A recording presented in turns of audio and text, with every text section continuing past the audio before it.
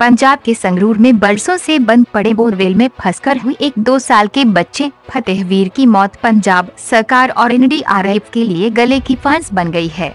पंजाब और Haryana high court ने, ने सोमवार को भारत सरकार पंजाब सरकार और एनडीआरएफ का नोटिस जारी करते हुए पूछा है कि बोरवेल में हुई बच्चे की मौत के लिए कौन जिम्मेवार है।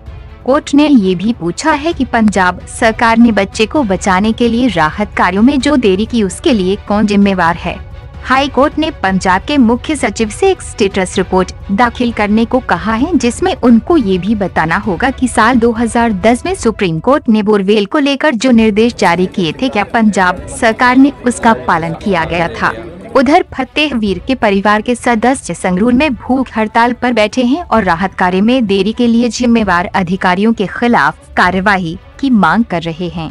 गौरतलब है कि एनडीआरएफ ने बच्चे तक पहुँचने के लिए न केवल दो समानांतर सुरंगें खोद डाली थी, बल्कि वह बोरवेल की सही गहराई का पता लगाने में भी नाकाम रही थी। इसके कारण रेस्क्यू में देरी हो गई और बच्चे की जान चली गई। विडम्बना ये है कि एनडीआरएफ ने बाद में बच्चे को उसी बोरवेल से बाहर खींचा जिसमें वे फंसा था। इस घटना ने जहाँ पंजाब सरकार की मुस्तैदी पर सवाल खड़े किए हैं, वहीं एनडीआरएफ की कार्यशैली भी सवालों के घेरे में है।